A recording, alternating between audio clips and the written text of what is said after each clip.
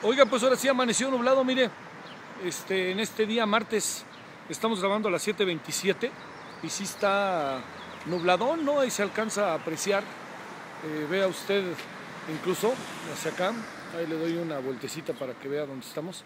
Bien nubladito hoy, ahí con mucha lluvia toda la noche. Y seguiremos así, ¿eh? Varios días. Oiga, pues aquí andamos y agradeciéndole como siempre que esté con nosotros en javiersolozano.com. Debo de decirle que tomé conciencia de algo el día de ayer, que este, bueno, le puede parecer a usted menor, pero a mí me parece muy importante.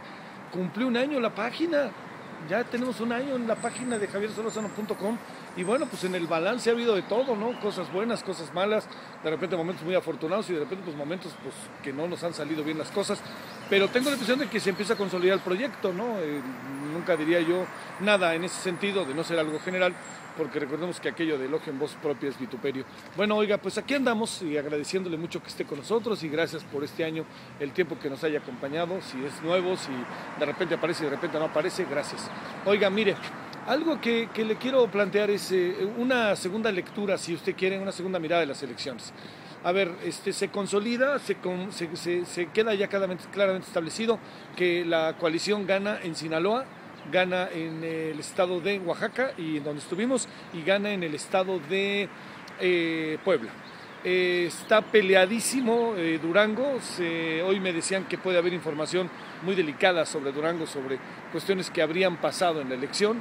También me, este, está ahí peleado, está peleado Veracruz.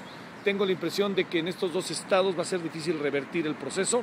incluso son muchos votos los que hay de diferencia, particularmente en el caso de Veracruz. Ahora hay que tomar en cuenta que Veracruz tiene un padrón electoral grande, alto, ¿no? Eso no, no lo pierda de vista. Luego, también lo otro que le quiero decir es que en el caso de los otros estados se consolida la tendencia en favor del PRI.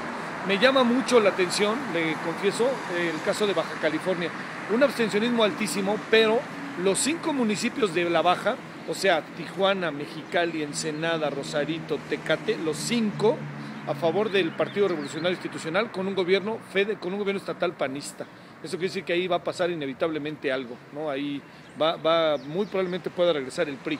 Sería una especie de alternancia de segunda vuelta, ¿no? Porque usted recordará que ahí en Baja California fue cuando Luis Donaldo Colosio dijo aquella frase de no nos son favorables las tendencias este, del voto y ganó en aquella ocasión Ernesto Rufo. Y entonces ha gobernado el PAN, PAN, PAN y ahora podría darse esa segunda alternancia de haber gobernado el PRI, ahora viene a gobernar el PAN y ahora viene a gobernar el partido otra vez revolucionario institucional. Bueno, estas cuestiones así, estos elementos que le digo de lo que puede pasar respecto al proceso electoral, eh, el, proceso electoral que se dio el domingo, tiene también la lectura de que si bien el PRI recuperó estados, por ejemplo Zacatecas, Aguascalientes, Tlaxcala, créame que número de población, de densidad de población no es mucho, ¿eh? no alcanzan estos tres estados más de tres y medio millones de habitantes. En el caso concreto y específico de los tres estados antes mencionados, Sinaloa, Puebla y el estado de,